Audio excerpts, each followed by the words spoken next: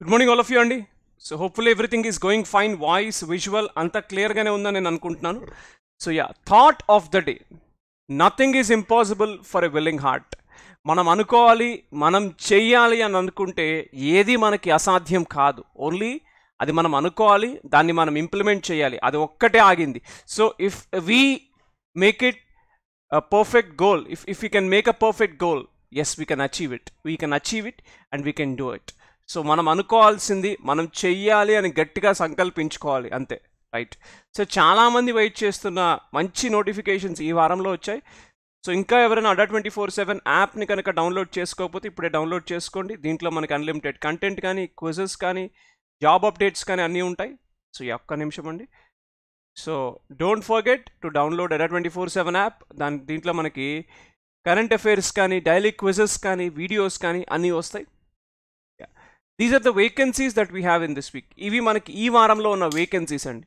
అంటే యాక్చువల్గా today is the last date ఈ రోజే లాస్ట్ డేట్ మళ్ళీ గుర్తు చేస్తున్నాను. ఈ రోజే చివరి తేదీ. టీఎస్ క్యాబ్ డీసీసీబీకి ఇవాళే చివరి తేదీ. అంటే ఇంకా అప్లై చేయకపోతే మరికొన్ని గంటలే సమయం ఉంది. You have only limited time like ఒక రెండు గంటలు మూడు గంటలే అనుకునే డెడ్ లైన్ ఈవినింగ్ దాకా ఉన్నప్పటికీ రెండు మూడు గంటలే టైం అనుకుని అప్లై చేయటం మంచిది. బికాస్ ఎప్పుడు మనకి సర్వర్ బిజీ అయిపోతుందో తెలియదు. ఇంకా అప్లై చేయకపోతే అప్లై చేయండి. అలాగే ఆర్బీఐ అసిస్టెంట్కి సంబంధించి ఎల్లుండి అంటే మంగళవారం లాస్ట్ డేట్ మంగళవారం last date right so these are the vacancies that the last date is ending in this week ఇవి డేట్స్ అయిపోతున్నాయి. సో ఒక్కసారి నేను మీకు హైకోర్ట్ నోటిఫికేషన్ గురించి సిడ్బీ వేకెన్సీస్ గురించి ఒకసారి చూపించే ప్రయత్నం చెప్పే ప్రయత్నం చేస్తాను. Just give minute please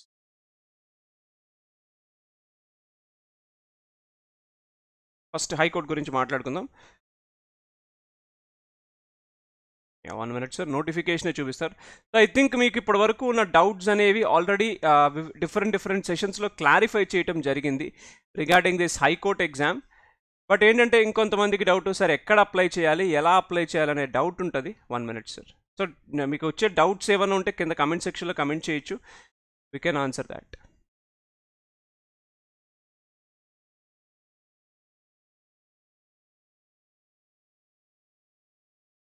one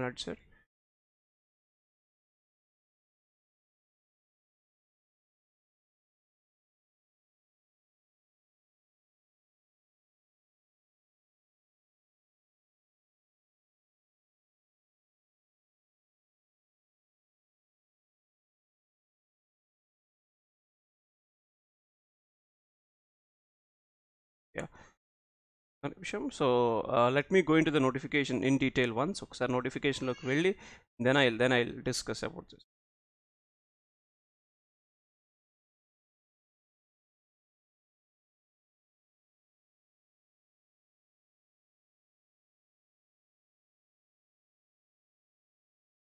one minute sir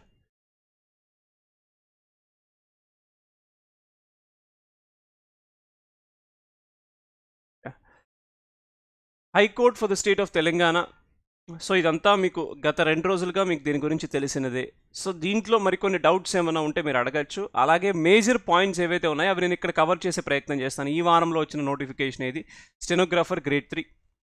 sir ఎవరు రిక్రూట్ చేస్తున్నారు దీనికి సంబంధించి అంటే the Telangana government Telangana government on I mean Telangana high court Telangana high court is recruiting this notification. Telangana high court పరిధిలో ఉండే జిల్లా కోర్టులలో exam వచ్చేసి ఎగ్జామ్ కండక్ట్ చేసేది జిల్లా కోర్టులకండి. తెలంగాణ హైకోర్టు పరిధిలో పనిచేసే జిల్లా కోర్టులకి నోటిఫికేషన్. సో ఒక్కసారి కనుక మీరు పరిశీలిస్తే in the in the judicial districts of the state of Telangana in the Telangana judicial ministerial service and subordinate rules carrying the pay scale అని చెప్పి పే స్కేల్ ఇచ్చారు. కాకపోతే ఇది బేసిక్ ఇది పే స్కేల్. సో దీంట్లో ఫైనల్ పే ఎంత అనేది ఇప్పుడే చెప్పలేదు so the online portal of high is will be available in high courts website. అది కూడా నేను చూపిస్తాను. ఎలా అప్లై చేసుకోవాలనేది. సో థర్డ్ మార్చ్ నుంచి ఫోర్త్ ఏప్రిల్ వరకు last date. Fourth April is the last date for application. So ఏవి hand రిటర్న్తో పంపించినవి ఏవి అప్లై చే యాక్సెప్ట్ చేయమని చెప్తున్నారు. ఎస్. ఇంకొక పెద్ద డౌట్ క్యాండిడేట్స్ అందరికీ. అబ్స్ట్రాక్ట్ వేకెన్సీస్కి సంబంధించి మనకి ఇక్కడ ఒక లిస్ట్ ఇవ్వటం జరిగింది. ఏ జిల్లాలో ఎన్ని వేకెన్సీలు ఉన్నాయనేది. ఇక్కడ ఒక్కసారి పరిశీలిస్తే ఈ నోటిఫికేషన్ అనేది స్టెనోగ్రాఫర్. మీరు ఇవి ఫైనల్ వేకెన్సీస్ అనుకోవద్దు. ప్రతి నోటిఫికేషన్లోనూ ఒక్కొక్క పోస్ట్ తర్వాత వేకెన్సీస్ ఇది స్టెనోగ్రాఫర్ తర్వాత కింద మళ్ళీ వస్తే జూనియర్ అసిస్టెంట్ సపరేట్గా ఉంది నోటిఫికేషన్ కొద్దిగా కిందకి రావాలి. మిగతా మ్యాటర్ అంతా సేమ్ సార్ మిగతా మ్యాటర్ అంతా మిగతా కంటెంట్ అంతా సేమ్ కాస్త కిందకు వచ్చి మీరు చూస్తే మిగిలిన ఇంకొక నోటిఫికేషన్ కూడా ఉంది. Like the state of Telangana like junior assistant అనేసి. సో జూనియర్ అసిస్టెంట్ వేకెన్సీ అనేది అనేసి ఇంకొక నోటిఫికేషన్ అంటే దాదాపు డెబ్బై ఒక్క పేజీల నోటిఫికేషన్ ఇది సెవెంటీ వన్ పేజెస్. సో ప్రతిదాన్ని మీరు ఏ పోస్ట్కి అప్లై చేసుకుంటున్నారు అదొకసారి పరిశీలించండి. ఇక్కడ ఇంకొక డౌట్ క్యాండిడేట్స్కి. సార్ నేను వేరే డిస్ట్రిక్ట్కి అప్లై చేయొచ్చా? హ్యాపీగా అప్లై చేయొచ్చు. కానీ మీ జిల్లాలో మాత్రమే మీకు లోకల్ క్యాండిడేట్ రిజర్వేషన్ వస్తుంది. మీ జిల్లాలో మాత్రమే మీకు లోకల్ క్యాండిడేట్ రిజర్వేషన్. మీ జిల్లాలో మాత్రమే మీకు లోకల్ క్యాండిడేట్ రిజర్వేషన్ వస్తుంది అది మర్చిపోవద్దు. So in your district itself you will get the local candidate reservation మీ జిల్లాలో అంటే దానికి కూడా క్రైటీరియా ఉంది అది కూడా చెప్తాను. సో ఆంధ్రప్రదేశ్ వాళ్ళు అప్లై చేయొచ్చా? చేయొచ్చు కానీ ఫైవ్ పర్సెంట్ మాత్రమే. అంటే ఎక్కడా వేరే స్టేట్ వాళ్ళు అప్లై చేయకూడదని ఏమీ లేదు కానీ ఎక్కడా వేరే స్టేట్ వాళ్ళు అప్లై చేయకూడదని ఏమీ లేదు కానీ బట్ ఆంధ్రప్రదేశ్ వాళ్ళు కూడా అప్లై చేయొచ్చు ఆంధ్రప్రదేశ్ వాళ్ళు కూడా అప్లై చేయొచ్చు కానీ major priority or preference will be given to the aspirants of Telangana local candidate reservation ఇక్కడ క్లియర్గా మెన్షన్ చేశారు. నైంటీ ఫైవ్ పర్సెంటేజ్ పోస్టులు వాళ్ళకే రిజర్వ్ చేయటం జరిగింది. ఆంధ్రప్రదేశ్లో లేదు వేరే జిల్లాలో మీకు రిజర్వేషన్ ఉన్నప్పటికీ మీరు ఓపెన్ కాంపిటీషన్లోకి వచ్చేటప్పుడు అంటే వేరే డిస్ట్రిక్ట్స్కి వెళ్ళి అప్లై చేసేటప్పుడు మీకు ఆ రిజర్వేషన్స్ ఏమీ వర్తించవు. మీరు ఓపెన్ ఓపెన్ కేటగిరీలో మీరు పోటీ పడాలి. మీరు ఓపెన్ కేటగిరీలో పోటీ పడాలి. సో ఒకసారి అది కూడా పరిశీలించుకోండి. So you please verify every notification. So ఏ పోస్టులు ఎక్కువ ఉన్నాయి? ఇంకొక doubt. So doubt number one క్యాండిడేట్స్కి వచ్చేది డౌట్ నెంబర్ వన్ క్యాండిడేట్స్కి వచ్చేది వేరే జిల్లాకు అప్లై చేయొచ్చా? చేయొచ్చు. కానీ మీ జిల్లాలో మీకున్న రిజర్వేషన్ వేరే జిల్లాలో రాదు. డౌట్ నెంబర్ టూ మరొక డౌట్.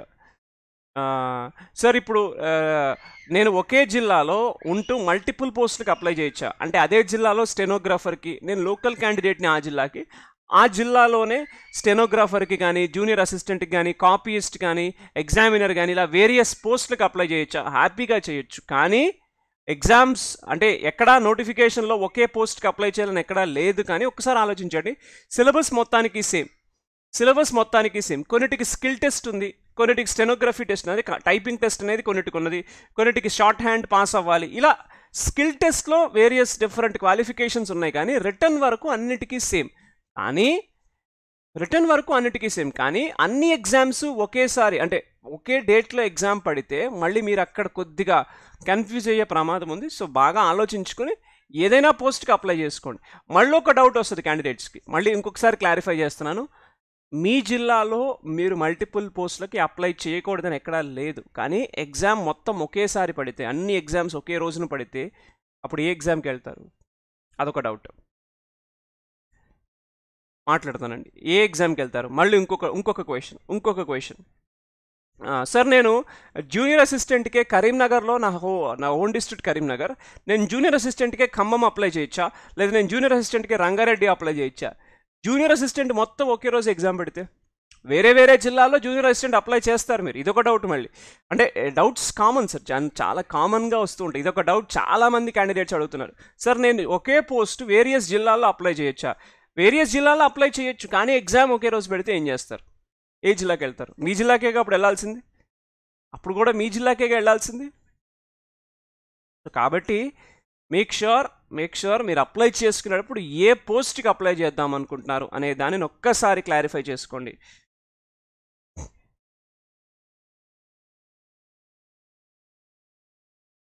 జూనియర్ అసిస్టెంట్కి కంపల్ టైపింగ్ కంపల్సరీ. మేము అదే చూపిస్తున్నానండి. ఒక్కసారి మీకు అదే చూపించే ప్రయత్నం చేస్తాను. ఎవరు కళ్యాణి థాట్స్ మీకు చూపించే ప్రయత్నం చేస్తారు. సో ఒకసారి మీరు ఇక్కడ వేకెన్సీస్ ఒకసారి చూసుకోండి. సో అబ్స్ట్రాక్ట్ వేకెన్సీస్ చూసుకోండి. ఇక్కడ ఇంకొకటి. మనకి కొన్ని కొన్ని వేకెన్సీస్లో ఇలా వేకెన్సీస్ అనేవి ఇవ్వటం జరిగింది. కొన్ని చోట్ల ఏంటంటే వేకెన్సీస్ వేరే వేరే వాటికి నోటిఫై చేయాల? అంటే మీరు ఇక్కడ ఉదాహరణకు చూస్తే ఇక్కడ ఎస్టీ నోటిఫై చేయాల? ఇక్కడ మెహబూబ్ నగర్ డిస్ట్రిక్ట్లో ఎస్టీ వేకెన్సీస్ నోటిఫై చేయాల? దట్ మీన్స్ ఎస్టీకి అక్కడ వేకెన్సీస్ లేవు. వాళ్ళు వేరే క్యాట ఓపెన్ కేటగిరీలో పోటీ పడటం. అంటే ఎస్టీ రిజర్వేషన్ అనేది అక్కడ అప్లై అవ్వదు. ఎందుకంటే ఆ కేటగిరీలో రిజర్వేషన్స్ అక్కడ లేవు. ఆ లేవు కాబట్టి. రైట్ ఇవి వేకెన్సీస్ అండి ఒకసారి చూసుకోండి. సో నేను మీకు ఒకసారి చూపించే ప్రయత్నం చేస్తాను. సో ఇక్కడ ఒకసారి క్వాలిఫికేషన్స్ ఒకసారి చూడండి. క్వాలిఫికేషన్ ఒకసారి చూడండి. Must have passed bachelor degree of any university established or incorporated under centre అంటే ఇది ప్రతిదానికి ఉండేది. డిగ్రీ పాస్ అవ్వాలి. Must have the knowledge or qualification computer application అంటే నాలెడ్జ్ కానీ క్వాలిఫికేషన్ కానీ రెండిట్లో ఉండాలి. ఇది నేను చెప్పేది జూనియర్ అసిస్టెంట్కి అండి నేను ఇది చెప్పేది జూనియర్ అసిస్టెంట్కి ఎక్కువ డిమాండ్ డిమాండ్ అంటే నా ఉద్దేశం ఎక్కువ ఎక్కువ మంది క్యాండిడేట్స్ చూస్ uh, చేసుకునే పోస్ట్ జూనియర్ అసిస్టెంట్ సో కాబట్టి అది నేను మీకు ఇప్పుడు చూపించే ప్రయత్నం చేస్తున్నాను క్వాలిఫికేషన్స్లో. సో డిగ్రీ క్వాలిఫికేషన్ ఉండాలి. అలాగే candidates who have the higher prescribed economic technical qualification if any shall submit the concern certificate at the time of oral interview along with required certificates అంటే మీకు మామూలుగా ఒకరు కొంతమంది ఏం చేస్తారంటే నేను పోస్ట్ గ్రాడ్యుయేషన్ చదివాను కానీ నేను డిగ్రీయే క్వాలిఫికేషన్ కదా అని డిగ్రీయే పెట్టాను అక్కడ ఎగ్జామ్లో ఆ క్వాలిఫికేషన్లో అలాంటివి చెయ్యొద్దు.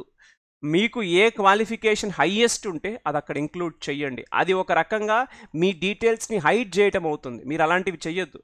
మీ హయ్యెస్ట్ క్వాలిఫికేషన్ ఏది? అంటే ఎగ్జామ్ క్వాలిఫికేషన్ డిగ్రీయే. కానీ మీకు హయ్యెస్ట్ కనుక పోస్ట్ గ్రాడ్యుయేషన్ పిహెచ్డి ఉంటే అప్లై చేసేవాళ్ళు ఉంటారు సార్. సో పోస్ట్ గ్రాడ్యుయేషన్ అంతకన్నా హై డబల్ పీజీ కానీ ఏమన్నా ఉంటే అవి కూడా ఇంక్లూడ్ చేయండి. ఎగ్జామ్ క్వాలిఫికేషన్ డిగ్రీ అయినప్పటికీ అవి కూడా అప్లై చేయాలి. అవి కూడా ఇంక్లూడ్ చేయాలి. వాటికి సంబంధించిన సర్టిఫికెట్స్ మీరు ఇంటర్వ్యూ టైంలో ప్రొడ్యూస్ చేయాలి. అలాగే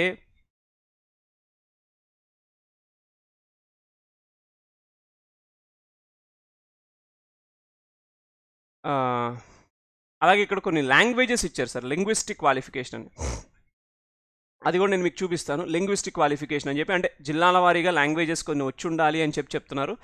అది కూడా నేను మీకు చూపిస్తాను. ఏజ్ లిమిట్ చూసుకోవచ్చు eighteen to thirty four. Eighteen to thirty four మామూలుగా సెంట్రల్ గవర్నమెంట్ స్టేట్ గవర్నమెంట్ ఎగ్జామ్స్లో ఇచ్చే రిలాక్సేషన్స్ ఇక్కడ అప్లై అవుతాయి. ఇక్కడ ఇక్కడ ఏంటంటే ఈడబ్ల్యూఎస్కి రిలాక్సేషన్ ఇచ్చారు సార్ పరిశీలించండి అది. ఈడబ్ల్యూఎస్కి రిలాక్సేషన్ ఇచ్చారు మర్చిపోవద్దు. జనరల్గా ఈడబ్ల్యూఎస్కి రిలాక్సేషన్ అనేది జనరల్గా ఎలా అంటే కట్ ఆఫ్స్లో ఉంటుంది. కానీ ఇక్కడ ఏజ్ ఏజ్ రిలాక్సేషన్ ఇచ్చారు అది గమనించండి. చాలామంది ఇది ఓవర్లుక్ చేస్తారు. The relaxation of maximum age in respect of ఎస్సీస్ STs BCs EWS is five years అంటే థర్టీ నైన్ ఇయర్స్ వరకు ఈడబ్ల్యూఎస్కి చెందిన వాళ్ళు అప్లై చేయొచ్చు. నేను ఒకసారి జూమ్ చేస్తాను మీరు ఒకసారి చూడండి. మీరు ఒకసారి చూడండి. ఈడబ్ల్యూఎస్ అంటే జనరల్ కేటగిరీకి మాత్రమే అప్లై అయ్యే ఒక ఆప్షన్ జనరల్ కేటగిరీ అంటే ముప్పై తొమ్మిది సంవత్సరాల వరకు. ఇది ఒకసారి చూడండి. In respect of EWS is is five years and in case of candidates with physical disabilities is ten years అంటే ఆలోచించండి మీరు ఒకసారి మీరు ఓటీపీఆర్లో మీరు అప్లై చేస్తే మీకు అన్నీ వచ్చేస్తాయి. మీరు ఓటీపీఆర్లో ఎంటర్ చేసినప్పుడు అన్నీ వస్తాయి.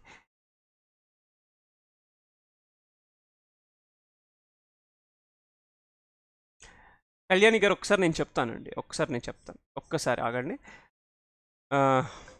అలాగే fee eight hundred rupees for OC and BCs అలాగే four hundred rupees for SC ST and EWS so నాలుగు వందల రూపాయలు. అలాగే మెథడ్ ఆఫ్ ఇన్స్ట్రక్షన్ ఎగ్జామ్ ఒకసారి చూస్తే online based computer same to same మనం నిన్న- మొన్న డిస్కస్ చేసినట్లే ప్రిలిమ్స్ మెయిన్స్ ఏమీ లేదండి. ఓన్లీ ప్రిలిమ్స్ అంటే ఓన్లీ ఒకే ఎగ్జామ్ ఎనభై మార్కులకు ఉంటుంది. ఆ తర్వాత మనకేముంటుంది? ఇంటర్వ్యూ లాంటిది ఉంటుంది. Oral test oral interview viva లాంటిది. అంటే జనరల్గా ఏంటంటే మీ బేసిక్ డీటెయిల్స్ గురించి అడుగుతారు లేదు మీరు అప్లై చేసిన జాబ్ నేచర్ గురించి అడగచ్చు లేదు మీరు మెన్షన్ చేసిన క్వాలిఫికేషన్లో క్వశ్చన్స్ అడగచ్చు. సో ఇలా oral interview could be like anything so computer based test ఇక్కడ ఒకసారి పరిశీలిస్తే యూజీసీ పరిధిలో డిగ్రీ పాస్ అయిన వాళ్ళందరూ ఎలిజిబుల్ సో డిగ్రీ స్టాండర్డ్లో పరీక్ష ఉంటుందని చెప్తున్నారు. అంటే ఒక రకంగా గ్రూప్స్ స్థాయి అని మనం ఎక్స్పెక్ట్ చేయొచ్చు. డిగ్రీ స్థాయిలో పరీక్ష ఉంటుంది. ఏది? జూనియర్ అసిస్టెంట్కి. జూనియర్ అసిస్టెంట్కి నేను మాట్లాడేది. So the question paper will be of eighty marks eighty marks GK and English రెండే సబ్జెక్టులు వేరే సబ్జెక్ట్ కూడా లేదు. అలాగే ఇక్కడెక్కడా కూడా నెగిటివ్ మార్కింగ్ గురించి చెప్పలా. నెగిటివ్ మార్కింగ్ గురించి చెప్పలా. అది కూడా పరిశీలించండి. ఎనభై మార్కులకి ఎగ్జాము నలభై జీకే నలభై ఇంగ్లీష్. ఆ జీకే అంటే దాంట్లో current affairs Telangana history Telangana culture Indian polity Indian economy Telangana budget రేపు రాబోయేది. సో కాబట్టి ఇలా అన్నీ అడిగే ఛాన్సెస్ ఉంటాయి. బికాజ్ మీరు అప్లై చేసే తెలంగాణ స్టేట్ గురించి కాబట్టి. సో అలాగే ఒకసారి పరిశీలించండి.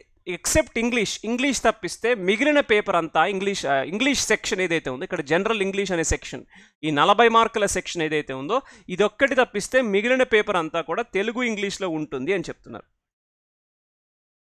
తెలుగు ఇంగ్లీష్లో కూడా ఉంటుంది. అంటే జీకే సెక్షన్ వరకు తెలుగు ఇంగ్లీష్లో ఉంటుంది. ఇంగ్లీష్ ఇంగ్లీష్లోనే ఉంటుంది. అలాగే ఇక్కడ క్వాలిఫైయింగ్ మార్క్స్ అని ఇచ్చారు. సార్ ఇది క్వాలిఫైయింగ్ అంటే ఇది మీకు జస్ట్ మనకి ఎగ్జామ్ క్వాలిఫై అవడానికి అంతేగాని నలభై పర్సెంట్ వస్తే అంటే ఎనభై మార్కులకి ముప్పై రెండు మార్కులు వస్తే క్వాలిఫై అయినట్లు జాబ్ గ్యారంటీ కాదు సార్.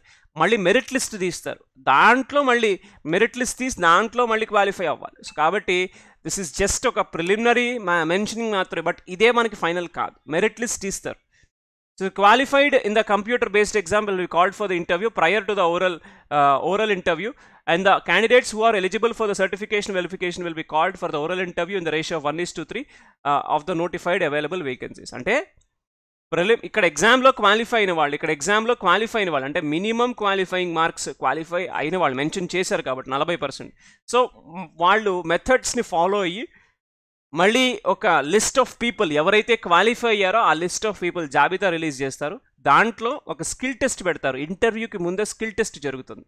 సో ఆ స్కిల్ టెస్ట్లో క్వాలిఫై అయిన వాళ్ళు వన్ ఈస్ టు త్రీ రేషియోలో ఇంటర్వ్యూకి పిలుస్తారు. సో హైకోర్టు ఎగ్జామ్కి కూడా ఇంటర్వ్యూ ఉంటుందా? వైవా లాంటిది. హైకోర్టు ఎగ్జామ్ కాదండి ఇది మళ్ళీ చెప్తున్నాను. District కోర్ట్స్లో high court conduct high court పరిధిలో ఉండే డిస్ట్రిక్ట్ కోర్ట్స్లో exam.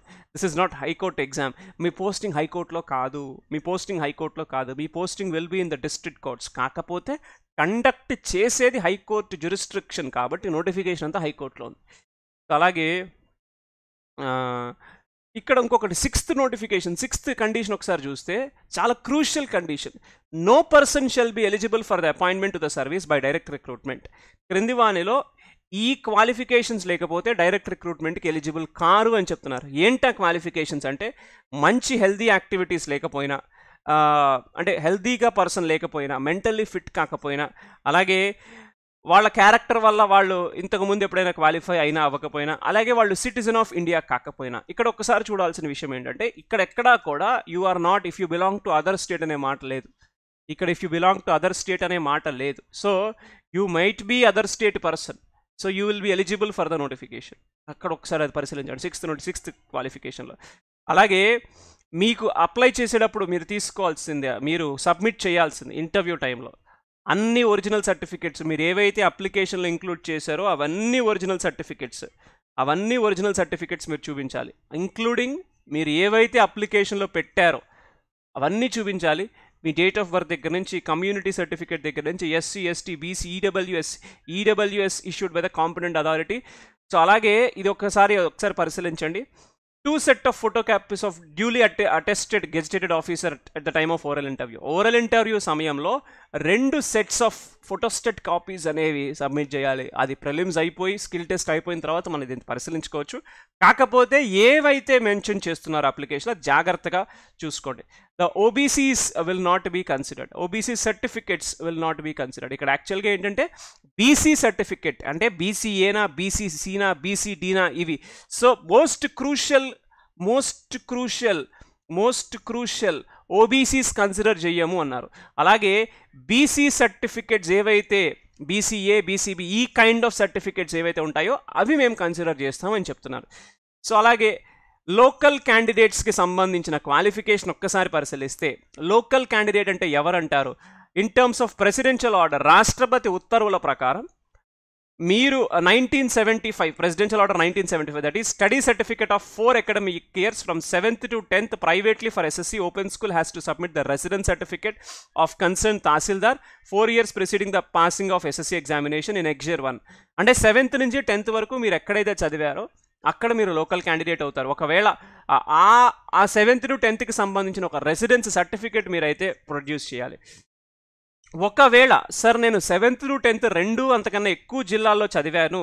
నేను రెండు అంతకన్నా ఎక్కువ జిల్లాలో చదివాను. అయితే ఈ clause seventh to tenth clause లేదంటే రెండు అంతకన్నా ఎక్కువ జిల్లాలో చదివాను సార్ నేనంటే they have to submit study certificates from fourth to tenth where the candidate studied maximum will be considered as a local candidate if the certificate in proof of local candidate are not in accordance of these instruction he will be considered as non local మళ్ళీ ఇంకొకసారి చెప్తున్నాను sir.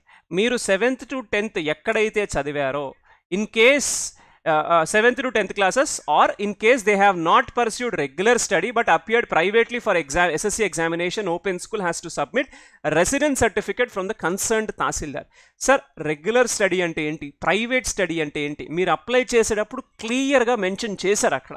అదొక్కసారి పరిశీలించండి. మళ్ళీ మేమే job filling form అని చెప్పి ఒక నోటి ఒక క్లాస్ తీసుకుంటాం. సో అక్కడ రెగ్యులర్ స్టడీ అంటే ఏంటి? ప్రైవేట్ స్టడీ అంటే ఏంటి? ఓపెన్ స్కూల్ అంటే ఏంటి? క్లియర్గా చెప్పారు. మళ్ళీ ఇది ఇంకొకసారి చెప్తున్నాను. సెవెంత్ టు టెన్త్ మధ్య సెవెంత్ టు టెన్త్ మధ్య మీరు రెగ్యులర్ స్టడీ అయితే పర్లా. అదే మీరు ప్రైవేట్ స్టడీ అయితే ఆ సమయంలో మీరు అక్కడ ఉన్నట్లు లోకల్ తహసీల్దార్ దగ్గర నుంచి ఒక సర్టిఫికేట్ తీసుకోవాలి. సో అలాగే మీరు ఒకవేళ సార్ నేను ఒక జిల్లాలో చదవలేదు రెండు అంతకన్నా ఎక్కువ జిల్లాలో చదివానంటే ఫోర్త్ టు టెన్త్ మీరు స్టడీ సర్టిఫికేట్ తీసుకోవాలి. Fourth to tenth study certificate తీసుకోవాలి. మీరు ఎక్కడైతే ఎక్కువ చదివారో అక్కడికి మీరు లోకల్ క్యాండిడేట్ అవుతారు. మీరు ఎక్కడైతే ఎక్కువ చదివారో. సార్ రెగ్యులర్ స్టడీ అయితే పర్లేదు కానీ ప్రైవేట్ స్టడీ అయితే మాత్రం కంపల్సరీగా రెసిడెన్స్ సర్టిఫికేట్ తీసుకోవాలి. ఇక్కడ మళ్ళీ ఇంకొకసారి చూడండి. Seventh to tenth classes are in case of not pursued regular study but appeared privately for the open school or SSC examination to submit residence certificate from the concern tahsildar ఇది local candidate qualification మళ్ళీ అర్థం కాకపోతే అడగండి మళ్ళీ we're ready to discuss no problem so ఇవి కాకుండా కనుక మీరు అప్లై చేస్తే యూ విల్ బి టిట్ యాజ్ నాన్ లోకల్ అలాగే the candidate has to produce original certificates of all necessary on the day of interview itself if the candidate fails to produce any required certificate that candidates will be rejected without any further correspondence జనరల్గా ఏంటంటే మీరు అక్కడ చూపించాలి ఇక్కడ వీళ్ళు produce చేయమంటున్నారు. So మీరు కనుక ఆ రోజున ప్రొడ్యూస్ చేయకపోతే రిక్వైర్డ్ సర్టిఫికేట్స్ అనేవి రిజెక్ట్ చేయటం పడుతుంది మీ క్యాండిడేచర్ అంటే చాలా మందికి డౌట్ ఏంటంటే సార్ నేను డిగ్రీ ఫైనల్ ఇయర్లో ఉన్నాను లేదా నేను బీటెక్ ఫైనల్ ఇయర్లో ఉన్నాను నేను అప్లై చేయొచ్చా? నిన్నే క్లారిఫై చేశాను సార్. మీరు ఒరిజినల్ సర్టిఫికేట్స్ చూపించాలి. అంటే మీ డిగ్రీ రిజల్ట్ కనుక అంటే మనకి క్లారిటీ లేదు ఎగ్జామ్ ఎప్పుడు జరుగుతుంది ఎప్పుడు స్కిల్ టెస్ట్ ఎప్పుడు ఇంటర్వ్యూ అనే డేట్స్ క్లారిటీ లేదు. సో ఒకవేళ రెండు నెలల్లో జరిగింది అనుకోండి ఎగ్జామ్ ఆ టైంకి మీ డిగ్రీ ఓడి వస్తుందా? లేదా ఆ టైంకి మీ బీటెక్ ఓడి వస్తుందా? లేదా ప్రొవిజనల్ వస్తుందా? అది కూడా ఆలోచించుకోండి. సో అది ఆలోచించుకుని అప్పుడే అప్లై చేయండి. సో రిజర్వేషన్స్ ఏవైతే ఉన్నాయో belonging to SC ST BC economically weaker sections ఇవన్నీ దీని ప్రకారమే ఏవైతే అప్లికబుల్ ఉన్నాయో ఏవైతే అమల్లో ఉన్నాయో వాటి ప్రకారమే చేస్తామని చెప్తున్నారు. అలాగే ఇక్కడ ఒకసారి నన్ను నేను హైడ్ చేస్తాను సార్ బికాజ్ మీకు మరింత బాగా కనపడటానికి. సో జనరల్ ఇన్స్ట్రక్షన్ అలాగే district a the post in the district judiciary are organized as district cadre post and ninety five percent for local candidates of the concern district and five percent is open to all five percent is open to all ఐదు శాతం అందరికీ. So ఇక్కడ ఒకసారి చూస్తే ఏవైతే తెలంగాణ పాత తెలంగాణ ఏదైతే ఉందో అంటే రెండు ఒకటి ఒకటి పది రెండు వేల పదహారు ఏవైతే రెవెన్యూ డిస్ట్రిక్ట్స్ ఉన్నాయో తర్వాత మనకి కొత్త జిల్లాలు వచ్చాయి కాబట్టి పాత పది జిల్లాలు ఏవైతే ఉన్నాయో అప్పటి రెవెన్యూ పరిధిలో మాత్రమే అపాయింట్మెంట్స్ అనేవి జరుగుతాయి. అంటే పోస్టింగ్స్ అలాగే ఉంటాయని చెప్తున్నారు. సో అది లోకల్ ఏరియా అని చెప్తున్నారు. పాత పది జిల్లాల తెలంగాణ ఏదైతే ఉందో ఆ పరిధిలో ఉండే రెవెన్యూ జిల్లాల పరిధిలోనే రిక్రూట్మెంట్ అపాయింట్మెంట్స్ ఉంటాయని చెప్తున్నారు. అపాయింట్మెంట్స్ ఇక్కడ అంటే పోస్టింగ్స్ పోస్టింగ్స్. అలాగే మీరు ఒక పదివేల రూపాయల ఒక బాండ్ లాంటిది లేదా ఒక రకంగా డిపాజిట్ లాంటిది చేయాలి at the time of appointment అని చెప్తున్నారు. సో ఇంకా మిగిలినవన్నీ conditions like note TA DA will be paid for the instruction based for the oral interview అలాగే ఇక్కడ ఫోర్త్ క్వాలిఫికేషన్ ఒకసారి చూడండి జాగ్రత్తగా. ఇందాక thirty five percentage forty percentage అనే క్లాజ్ ఉంది. Mere applying and mere securing minimum qualification in the computer based will not give any vested right to any candidate to call for the oral interview minimum qualifying marks వచ్చినంత మాత్రాన మేము మిమ్మల్ని ఇంటర్వ్యూకి పిలవము. Merit list ఉంటుంది అనే condition ఇక్కడ క్లియర్గా చెప్పారు.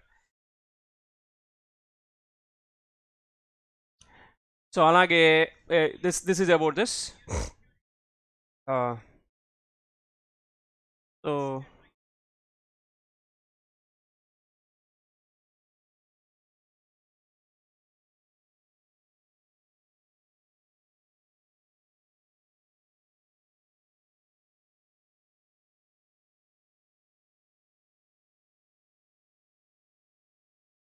అలాగే కొన్ని కండిషన్స్ ఏవైతే ఉన్నాయో అదొకసారి చూపించారు. So these are the conditions ఒకసారి మీరు అన్నీ చూడండి. సో మీరు ఒక్కసారి లోకల్ క్యాండిడేట్స్కి సంబంధించిన ఇదే కండి ఇదే కాస్త కన్ఫ్యూజింగ్గా ఉంటుంది సార్ చాలామందికి. సెవెంటీన్త్ కండిషన్ ఒకసారి జాగ్రత్తగా పరిశీలించండి మీరు. You please verify the seventeenth seventeenth one local candidates అంటే ఏంటి? So seventh to tenth class ఒక డిస్ట్రిక్ట్లో ఉంటే ఆ డిస్ట్రిక్ట్కి మీరు లోకల్ క్యాండిడేట్ మీరు ఏ జిల్లాలో అయితే seventh to tenth standard local district ఉంటే ఆ జిల్లాకి మీరు లోకల్ క్యాండిడేట్ సారీ ఆ జిల్లా వరకు మీరు లోకల్ లోకల్ క్యాండిడేట్స్ అవుతారు. లోకల్ స్టేటస్ అలాగే if the applicant has not pursued his or her studies from seventh to tenth in one district study period of fourth to tenth standard will be considered ఒకే జిల్లాలో చదివితే అదే మీ local district ఒకే జిల్లాలో చదవకపోతే మీరు fourth నుంచి tenth వరకు ఎక్కడ చదివారో అది మీ లోకల్ ఎక్కడైతే ఎక్కువ చదివ ఎక్కడైతే ఎక్కువ రోజులు చదివారో లైక్ ఒక జిల్లాలో fourth to fifth fourth to sixth ఒక జిల్లాలో చదివి సిక్స్త్ టు నైన్త్ ఒక జిల్లాలో చదివి నైన్త్ టు టెన్త్ మరొక జిల్లాలో చదివారనుకోండి సిక్స్త్ టు నైన్త్ మూడు జి- మూడు సంవత్సరాలు చదివిన జిల్లా మీ లోకల్ జిల్లా అవుతుంది. సిక్స్త్ టు నైన్త్ మూడు సంవత్సరాలు చదివిన జిల్లా మీ లోకల్ జిల్లా అవుతుంది. అలాగే ఇక్కడ థర్డ్ దిస్ వన్ మీరు ఏదైతే ప్రైవేట్ క్యాండిడేట్స్గా కానీ open sorry.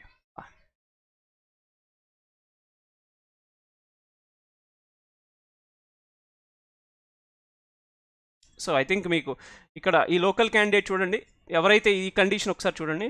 ఎవరైతే రెగ్యులర్ క్యాండిడేట్గా కాకుండా ఎవరైతే ఓపెన్ స్కూల్లో కానీ ప్రైవేట్ క్యాండిడేట్స్గా కానీ చదివారో వాళ్ళు రెసిడెన్స్ సర్టిఫికేట్ ప్రొడ్యూస్ చేయాలి అని చెప్తున్నారు. అంటే for applicants who have appeared SSC or tenth standard as a private or studied in an open school mode they have to submit residence certificate for the concerned tahsildar for four years preceding the year of passing tenth exam right అదొక్కసారి పరిశీలించండి. అంటే మీరు అప్పటికి సంబంధించిన ఒక ఒక certificate అనేది మీరు ఇవ్వాలి. రైట్.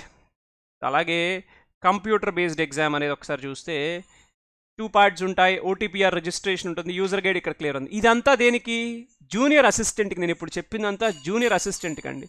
మళ్ళీ ఇది అయిపోయిన తర్వాత మళ్ళీ మనకి ఇంకేం పోస్ట్ ఉంది? For the direct for the post of typist. So మన టైపిస్ట్కి కూడా సేమ్. అన్నిటికీ సేమ్ సార్. అన్నిటికీ కండిషన్స్ క్లాజెస్ అన్నీ సేమ్. అన్నీ సేమ్. సో ఒక్కసారి నేను మీకు ఇప్పుడు ఇంకోటి చూపించే ప్రయత్నం చేస్తాను.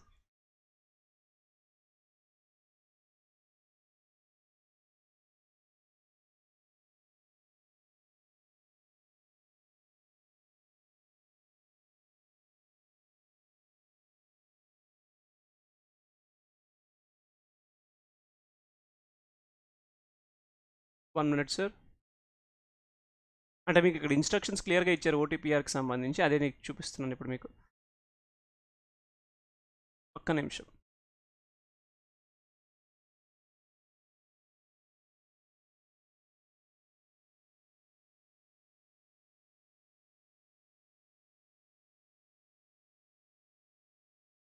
యా లోకల్ క్యా ఇక్కడ ఈ లాంగ్వేజెస్ చూడొచ్చు. కాకపోతే ప్రతి జిల్లాలో this is what I want to show this is what I want to show ఇక్కడ మీరు చూడొచ్చు లింగ్విస్టిక్ లింగ్విస్టిక్ uh, అన్నారు కదా list containing the languages in the district list containing the languages in the district ఇది ఒకసారి పరిశీలించండి. So Hyderabad జిల్లాకి తెలుగు ఉర్దూ హిందీ. ఆదిలాబాద్ జిల్లాకి తెలుగు హిందీ తెలుగు ఉర్దూ హిందీ అండ్ మరాఠీ. అంటే ఆ జిల్లాల పరిధిలో. కరీంనగర్ జిల్లాకి Telugu and Urdu and Telugu and Urdu and Hindi. అలాగే ఖమ్మం జిల్లాకి తెలుగు అండ్ ఉర్దూ. అలాగే ఆర్ అనలేదు అండ్ అన్నారు. అంటే ఆలోచించండి. ఆర్ అనలేదు ఎండ్ అన్నారు. ఆర్ అనలేదండి అక్కడ ఎండ్ అన్నారు.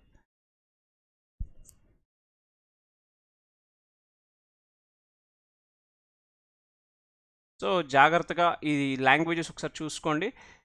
ఖమ్మం జిల్లాకి Telugu and Urdu or Hindi. Telugu and Urdu or Hindi.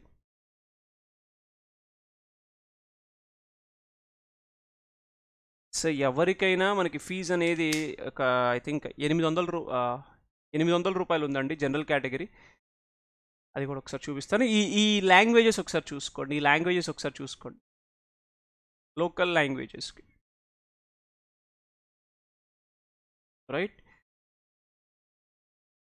So make sure make sure that you know this make sure that you know this make sure that you know this మీకు తెలియాలి ఈ ఈ local language ఈ జిల్లాల పరిధిలో ఉంటుంది అని తెలియాలి.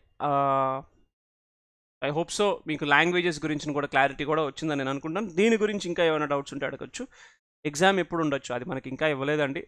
ఏప్రిల్ వరకు డేట్స్ ఉన్నాయి కాబట్టి మోస్ట్లీ ఆన్లైన్ ఎగ్జామ్ కాబట్టి అంటే సిబిటీ కాబట్టి మేబీ ఎక్స్పెక్టింగ్ మే ఫస్ట్ వీక్లో ఉండొచ్చు. బట్ ఈ లోపు కూడా ఉండొచ్చు. ఏప్రిల్లోనే ఉండే అవకాశాలు కూడా ఉన్నాయి. మనకైతే డేట్స్ అయితే కన్ఫర్మేషన్ లేదు ఇప్పటివరకు. సో జాగ్రత్త దీని గురించి జాగ్రత్తగా చూసుకోండి ఒకసారి. It is very clearly mention in the notification about this linguistic districts linguistic languages languages of the districts ఆ జిల్లాల పరిధిలో లాంగ్వేజెస్ ఏ భాషలు రావాలి? రైట్ సో ఒక్కసారి ఇక్కడ నేను చూపించే ప్రయత్నం చేస్తాను. ఇక్కడ క్లియర్గా ఇచ్చారు. So languages select linguistic languages known. మీరు ఇక్కడ అప్లై చేసినప్పుడు ఇలా మీరు ఇవ్వాలి. సో తెలుగు ఉర్దూ హిందీ అని ఉంటుంది. సో తెలుగు హిందీ అంటే నోన్ అన్నారు. లాంగ్వేజెస్ తెలిసినవి. అంటే అవి చదవటం రాయటం మాట్లాడటం జనరల్గా లాంగ్వేజెస్ నోన్ అంటే ఈ మూడే ఉంటాయి సార్. చదవటం రాయటం ఉందండి. అది మీరు ఎక్కడ అంటే ఇంటర్ బేస్ కూడా ఉంది ఈ జాబ్స్కి. కాకపోతే మీరు ఓటీపీఆర్లో రిజిస్ట్రేషన్ చేసినప్పుడు ఓటీపీఆర్లో రిజిస్ట్రేషన్ చేసినప్పుడు మీరు ఇంటర్ ఇస్తే మీకు ఇంటర్కి ఎలిజిబుల్ అయిన జాబ్స్ అన్నీ కనిపిస్తాయి. డిగ్రీ ఇస్తే డిగ్రీకి ఎలిజిబుల్ అయిన జాబ్స్ అన్నీ కనిపిస్తాయి. మీరు ఇచ్చే క్వాలిఫికేషన్ని బట్టి మీకు ఏ జాబ్స్కి ఎలిజిబిలిటీ ఉందనేది మీకు కనిపిస్తుంది. మీరు ఇచ్చే క్వాలిఫికేషన్స్ని బట్టి మీరు ఏ జాబ్స్కి ఎలిజిబుల్ అనేది తెలుస్తుంది. అది ఒక్కసారి గమనించండి. ఇక్కడే క్లియర్గా రెగ్యులర్ అంటే ఏంటి? ప్రైవేట్ అంటే ఏంటి? ఇది క్లియర్గా ఇవ్వటం జరిగింది. అది ఒకసారి పరిశీలించండి. Right? So this is all about this high court notification of Telangana మళ్ళీ ఇంకొక సూపర్ నోటిఫికేషన్ మరొక సూపర్ నోటిఫికేషన్ మనకున్నది సిడ్బి మనకు ఒక సూపర్ నోటిఫికేషన్ ఉన్నది సిడ్బి ఆ సిడ్బి నోటిఫికేషన్ ఒకసారి పరిశీలిస్తే ఎక్స్ట్రాడినరీ సూపర్ నోటిఫికేషన్ అని చెప్పొచ్చు. ఏంటి సార్ ఇంతెందుకు చెప్తున్నారు సిడ్బి గురించి? అంత సూపర్గా ఉంటుందా? సార్ ఎప్పుడైనా గుర్తుపెట్టుకోండి. Non retail jobs are very good very good very good non retail ఉద్యోగాలు అనేవి ఎప్పుడు వదలొద్దు మనం. నాన్ రీటైల్ ఉద్యోగాలు. This is a non retail అంటే పబ్లిక్ డీలింగ్తో ఉండదు. సిడ్బి అనేది ఎంఎస్ఎంఈస్ కోసం మైక్రో స్మాల్ మీడియం ఎంటర్ప్రైజ్ కోసం ఏర్పాటు చేసిన బ్యాంక్. లక్నో ప్రధాన కార్యాలయంగా ఒక పార్లమెంటరీ చట్టంతో ఏర్పాటు చేసిన బ్యాంక్ సిడ్బి. మర్చిపోవద్దు.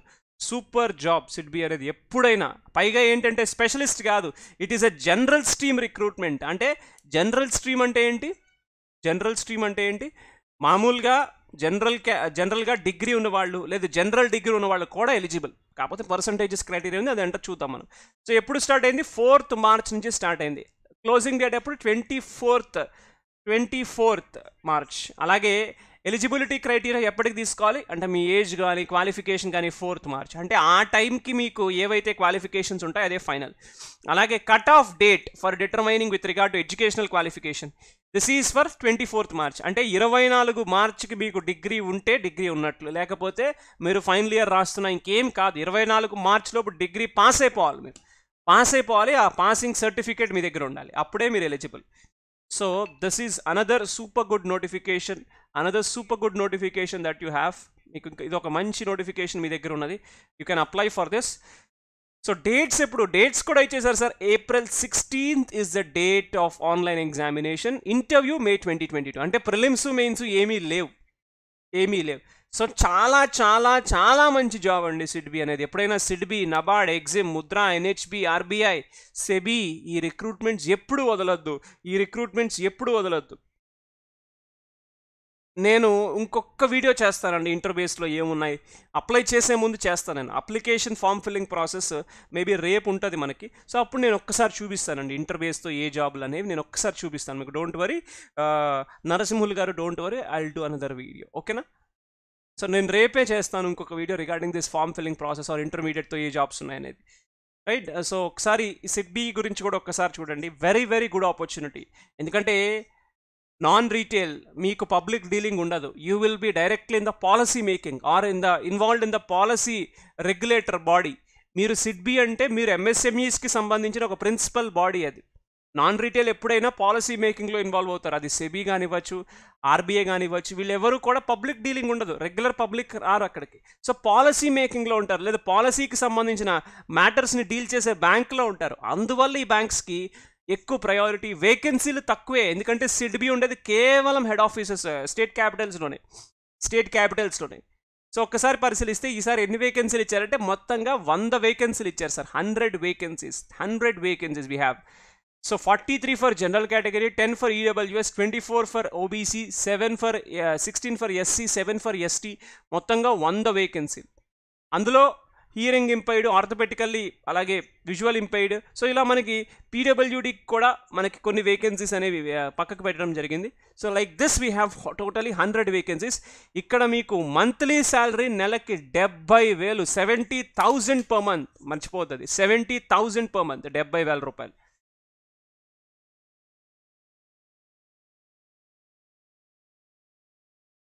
సో డెబ్బై వేల రూపాయలు. సో అంటే మీకు ఇక్కడ మేము ఏదైతే నోటిఫికేషన్లో చెప్తున్నామో అది ఓన్లీ ఇండికేటివ్. ఎప్పుడైనా కావాలి అంటే ఆ వేకెన్సీ పేరుని మార్చొచ్చు అని చెప్తున్నారు. సో వంద వేకెన్సీలు మనకు ఉన్నాయి sir. Hundred vacancies we have. So అదొక్కసారి పరిశీలించండి మీకు సంబంధించి ఏమున్నాయనేది సో ఎస్ ఎస్ ఎస్. ఒకసారి చూసుకుంటే సిడ్బి యొక్క జాబ్ ప్రొఫైల్ ఏంటి? మీరు ఎంఎస్ఎంఈ పాలసీ మేకింగ్లో ఉంటారు. ఎంఎస్ఎంఈకి సంబంధించిన క్రెడిట్ పెనిట్రేషన్ అంటే మైక్రో ఫైనాన్సెస్ కానీ ఈ అంటే క్రెడిట్స్ ఎవరికెవరికి ఇవ్వాల్సి వస్తుంది? ఎవరెవరి రూల్స్ ఏంటి? అనే దాంట్లో మీరు you are expected to take part మీరు జాబ్ రోల్ అక్కడ ఉంటుంది. Officer in grade are expected to contribute proactively in the following broad areas of the bank so me role అక్కడ ఉంటుంది. So you are may majorly involved in MSME sector sir MSME policy bank కాబట్టి. ఇంకా మిగిలినవన్నీ ఇస్తారు.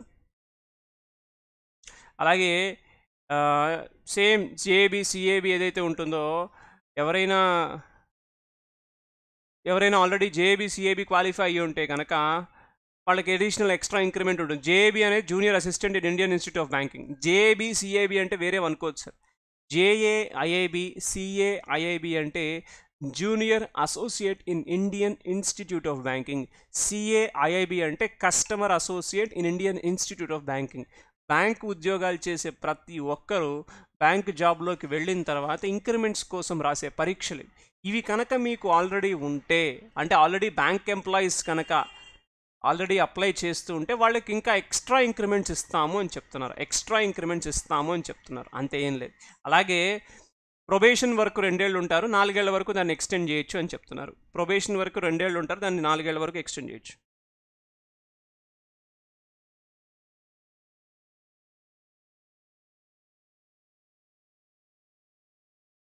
ఒక్క నిమిషం అండి. ఒక్క నిమిషం అడుగుతున్నారు కదా ఒక్క నిమిషం నేను మీకు చూపించే ప్రయత్నం చేస్తాను.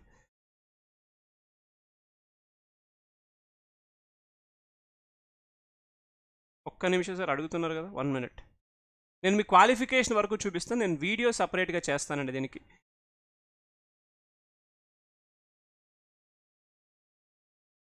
అంటే ఓటీపీఆర్లో నేను చూశాను అందుకే నేను చెప్తున్నాను. ఓటీపీఆర్లో ఒక్కసారి ఒకటి చూశాను. డిప్లొమా నాకు తెలిసి ఏమీ లేవండి. డిప్లొమా నాకు తెలిసి ఏమీ లేవు. ఒక నిమిషం. నేను అది ఇప్పుడు చూస్తాను. ఒక నిమిషం sir. You can see intermediate job. I think మీకు కనిపిస్తుంది కదా? ఇంటర్మీడియట్. ఓకే? ఇంటర్మీడియట్. కనిపిస్తుంది కదా ఇంటర్మీడియట్?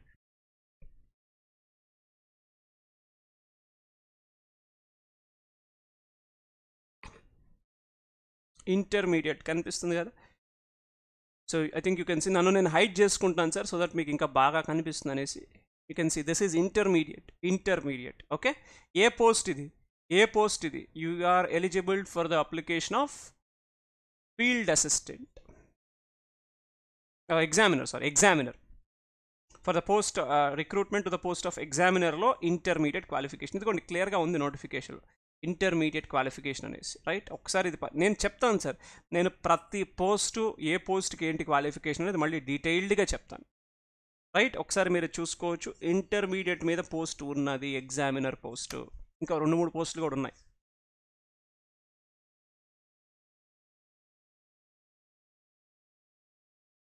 రైట్ సో జాగ్రత్తగా చూసుకోండి ఇది.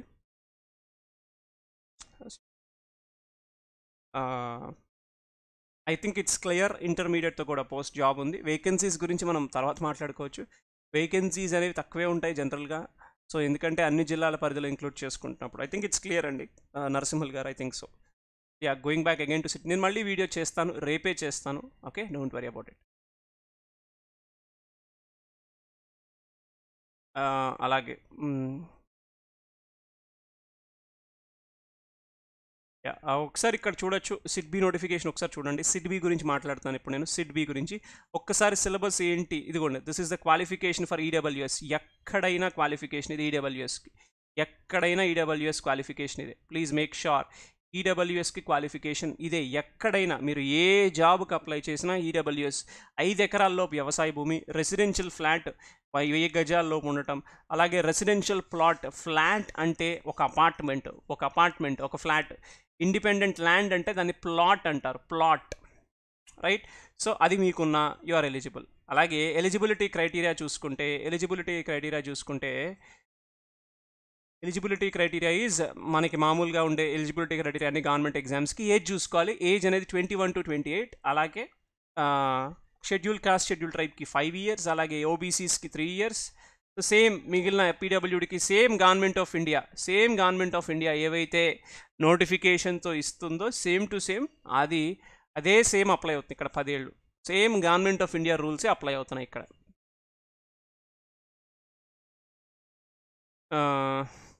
అలాగే the maximum age limit specified is applicable to general category candidates and economically weaker section candidates. So అలాగే ఎవరైతే వేజ్ రిలాక్సేషన్కి అప్లై చేస్తున్నారో వాళ్ళు ఖచ్చితంగా సర్టిఫికేట్ చూపించాలి అంటున్నారు. ఏజ్ ఎంత? Twenty eight maximum twenty eight maximum ఇరవై ఎనిమిది సంవత్సరాలు గరిష్టంగా. రైట్? ఇక్కడ ఒకసారి క్వాలిఫికేషన్ చూసే ప్రయత్నం చేద్దాం. Qualification is degree. B bachelor degree in law or bachelor degree in engineering BTech preferably civil electrical or master degree in any discipline. From commerce economics management ఏదైనా master degree anything B bachelor degree in law అంటే BL కానీ LLB కానీ or BTech civil electrical mechanical అలాగే master degree in any discipline. అలాగే CA CS అలాగే PhD from the government institutions. అంటే మనకి ఏ degree degree అనేది మనకి బిఎల్ కానీ లేదు బీటెక్ కానీ అలాగే పోస్ట్ గ్రాడ్యుయేషన్ డిగ్రీ అయితే ఏదైనా master degree in any discipline preferably అన్నారు. అంటే దీంట్లో ఉంటే ప్రిఫరెన్స్ ఇస్తాం. కామర్స్ ఎకనామిక్స్ మేనేజ్మెంట్ అంటే MA MA commerce MCom MCom sorry MCom MA economics MCom MA economics అలాగే ఎంబీఎస్ వీళ్ళకి ప్రిఫరెన్స్ ఇవ్వటం జరుగుతుంది అని చెప్తున్నారు. ఎక్కడి నుంచి? యూజీసీ రికగ్నైజ్డ్ ఇన్స్టిట్యూషన్స్ నుంచి ఆర్ సెంట్రల్ గవర్నమెంట్ ఇన్స్టిట్యూషన్స్ నుంచి అంటే సెంట్రల్ యూనివర్సిటీస్ నుంచి మీరు డిగ్రీ తీసుకోవాలి. అలాగే CA CS CWA or PhD అంటే డిగ్రీ వరకు బిఎల్ అండ్ బీటెక్ పీజీ ఏదైనా పర్లేదు. బీటెక్ వాళ్ళు అందరూ ఎలిజిబుల్లే ప్రిఫరబుల్లీ అన్నారు. అంటే ప్రిఫరెన్స్ ఇస్తాం వీళ్ళకి. Civil electrical mechanical CSC IT వాళ్ళు కూడా ఎలిజిబుల్ కానీ preference will be given for civil electrical and mechanical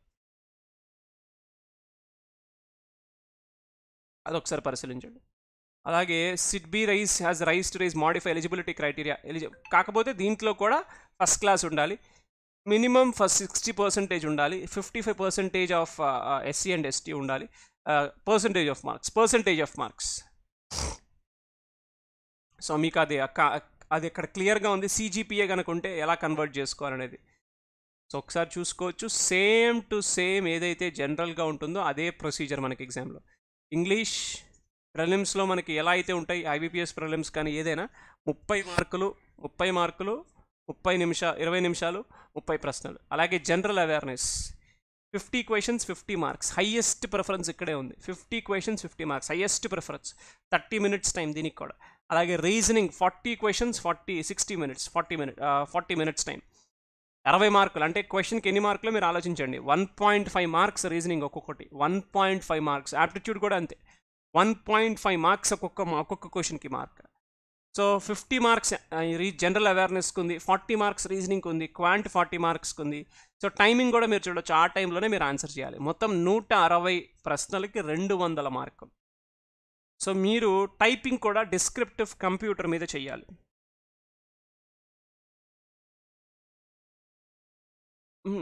you are eligible you are eligible one sixty ఇక్కడ డిస్క్రిప్టివ్లో మనకి మొత్తంగా ఎన్ని ప్రశ్నలు ఉంటాయో కూడా ఇచ్చేసారు ఇక్కడ. నూట అరవై మూడు ప్రశ్నలు డిస్క్రిప్టివ్తో కలుపుకొని. కాకపోతే ఏంటంటే అన్ని మూడు అటెంప్ట్ చేయాల్సిన అవసరం లేదు అని చెప్తున్నారు. So three questions fifty marks two essays on financial banking economic and social issues in India twenty marks and one business letter writing ten marks note it is ఎసెన్ sorry మూడు ప్రశ్నలు మూడు ఖచ్చితంగా ఆన్సర్ చేయాలని చెప్తారు ఐమ్ సారీ మూడిటికి మూడు answer చేయాలని చెప్తున్నారు. మూడిటికి మూడు ఆన్సర్ చేయాలి. సార్ మీరు ఖచ్చితంగా రెగ్యులర్గా హిందూ ఎడిటోరియల్ మనకి క్లాసెస్ జరుగుతాయి.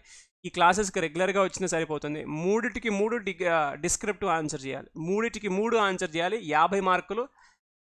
ఈ ఈ సెక్షన్కి అరవై నిమిషాలు. అంటే మొత్తం మూడు గంటల ఎగ్జామ్ రెండు వందల యాభై మార్కులు. మూడు గంటల ఎగ్జామ్ రెండు వందల యాభై మార్కులు. అలాగే ఇక్కడ క్లియర్గా చెప్పింది ఏంటంటే రాంగ్ ఆన్సర్కి నెగిటివ్ మార్కింగ్ ఉంటుంది. One fourth of that question will be deducted as penalty అంటే ఇక్కడ మీరు ఒకసారి చూస్తే reasoning one point five marks ఉంది. వన్ పాయింట్ ఫైవ్లో వన్ ఫోర్త్ జనరల్ అవేర్నెస్ మళ్ళీ వన్ మార్కే ఉంది. దాంట్లో వన్ ఫోర్త్ అంటే point two five English one మార్కే ఉంది. అంటే దాంట్లో వన్ ఫోర్త్ అంటే point two five coming to ఈ ఆప్టిట్యూడ్ రీజనింగ్ మాత్రం వన్ పాయింట్ ఫైవ్ మార్క్స్ ఉన్నాయి. దీంట్లో ఈ వన్ పాయింట్ ఫైవ్ మార్క్స్లో మనకి వన్ ఫోర్త్ సో అలా మీరు చూసుకోవాలి ఒకసారి.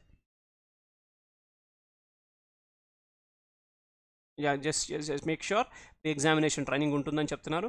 సో అలాగే ఎగ్జామినేషన్ సెంటర్ కూడా విల్ బి ఇంటర్వ్యూ అనేది ఇక్కడ జరుగుతుంది. Will be called for the interview interview will be held and ten centres so interview అనేది టెన్ సెంటర్స్లో కండక్ట్ చేస్తారని చెప్తున్నారు.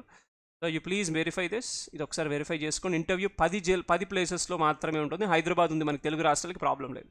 హైదరాబాద్ ఉంది తెలుగు రాష్ట్రాలకి. అహ్మదాబాద్ బెంగళూరు చండీగఢ్ చెన్నై గౌహతి హైదరాబాద్ జైపూర్ కోల్కతా లక్నో ముంబై అండ్ న్యూఢిల్లీ సో ఇక్కడ మనకి ఇంటర్వ్యూస్ జరుగుతాయి. ఇక్కడ ఎగ్జామ్ కాదు ఇంటర్వ్యూస్ పది సెంటర్స్లో జరుగుతాయని చెప్తున్నారు. అదొకసారి చూసుకోండి. సో డీసీసీబీస్కి చేయొచ్చండి కాకపోతే లోకల్ క్యాండిడేట్ రిజర్వేషన్ రాదు. ఏ జిల్లాకైనా అప్లై చేయొచ్చు కానీ లోకల్ క్యాండిడేట్ రిజర్వేషన్ రాదు.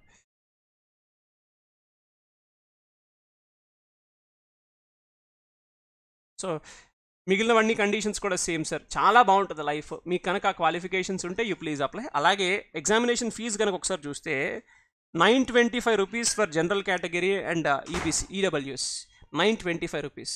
మొత్తం ఇంటిమేషన్ ఛార్జెస్ ఒక నూట డెబ్బై ఐదు రూపాయలు. మొత్తం పదకొండు వందల రూపాయలు ఎగ్జామ్ ఫీజు. ఎస్సీ ఎస్టీస్కి అప్లికేషన్ ఛార్జెస్ ఏమీ లేవు.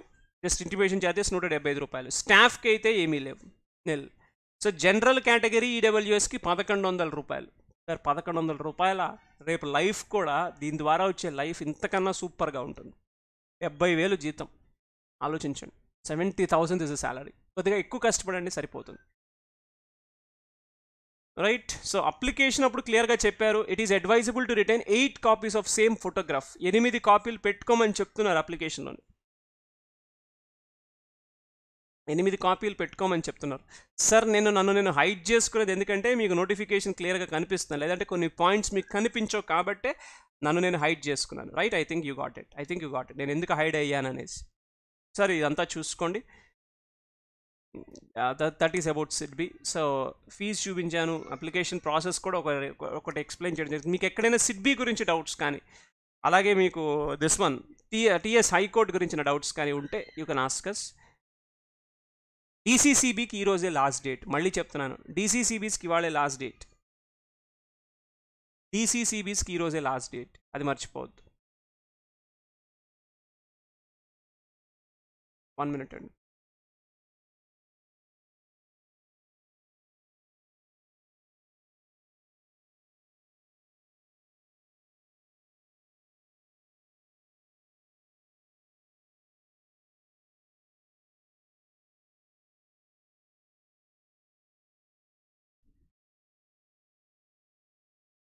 ఒక్క నిమిషం అండి.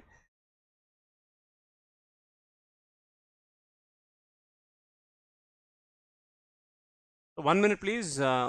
అలాగే సార్ మరి మన ప్రిపరేషన్ కోసం ఏమైనా బ్యాచెస్ ఉన్నాయా సార్? అంటే yes we have batches we have batches మన ప్రిపరేషన్ కోసం బ్యాచెస్ ఉన్నాయి. యాక్చువల్లీ దిస్ థింగ్ యా మన ప్రిపరేషన్ కోసం మనకి బ్యాచెస్ ఉన్నాయి. మీరు కనుక మెగా ప్యాక్ తీసుకుంటే అన్ని బ్యాచ్లు దీంట్లోకి వచ్చేస్తాయి. If you take mega pack you take mega pack అన్ని బ్యాచ్లు దీంట్లోకే వస్తాయి. మెగా ప్యాక్ తీసుకుంటే అన్ని దీంట్లోకి వస్తాయి. అది జెన్కామ్ బ్యాచ్ కానీ గ్రూప్ ఫోర్ కానీ తెలంగాణ డీసీసీబీ కానీ టీఎస్ క్యాబ్ కానీ ఐ మీన్ తెలంగాణ డీసీసీబీ బ్యా మెయిన్ బ్యాచ్ కానీ ఎగ్జామ్స్ కానీ అన్నీ కూడా దీంట్లోకే వస్తాయి. సో రేపు ఫ్యూచర్లో ఏదైనా ఒక కొత్త నోటిఫికేషన్ వచ్చి బ్యాచ్ స్టార్ట్ చేస్తే అది కూడా మీకు ఉంటుంది ఫ్యూచర్లో స్టార్ట్ చేసే కొత్త బ్యాచ్ నోటిఫికేషన్ కూడా మీకు దీంట్లో ఉంటుంది right don't forget to right don't forget to take this subscription for this mega pack instead of ఇండివిజువల్గా పర్చేస్ చేయడం కన్నా మెగా ప్యాక్ తీసుకుంటే మీకే మంచిది.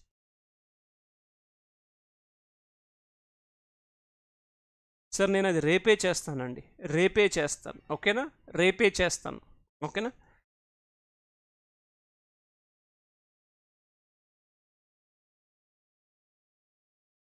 ఒక్కసారి నేను అదే చూస్తున్నానండి. నాకు న్యూస్ వస్తుంది డేట్స్కి సంబంధించి. నేను అదే ఒకసారి చూస్తున్నాను.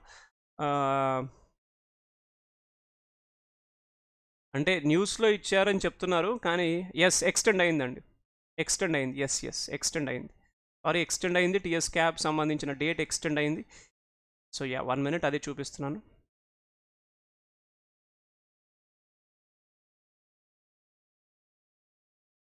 ఒక్క నిమిషం. ఎక్స్టెండ్ అయిందండి. ఎస్. ఎక్స్టెండ్ అయింది sir. TS CAB date extend అయింది. ఇప్పుడే నేను ఇప్పుడు అప్డేట్ చేస్తాను మీకు. ఒక్క నిమిషం.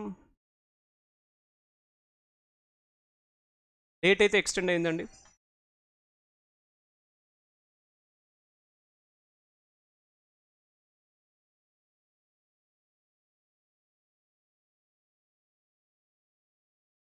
ఎక్స్టెండ్ అయింది. So please verify this one నేను అందుకే ఒకసారి చూస్తున్నాను.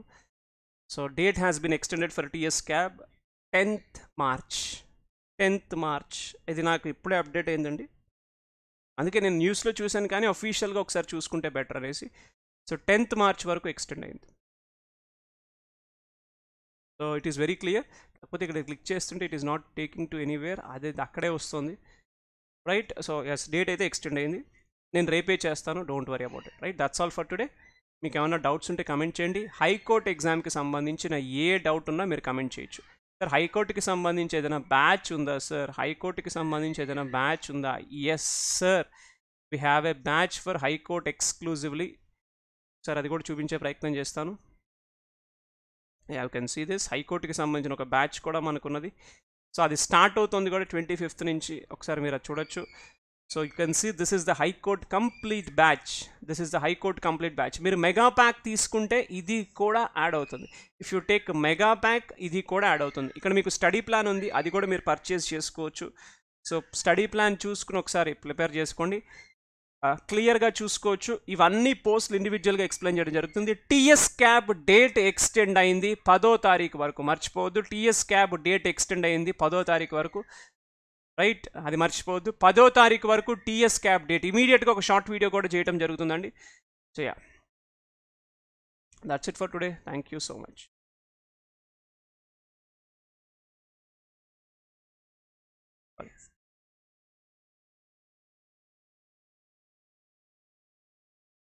thank you so much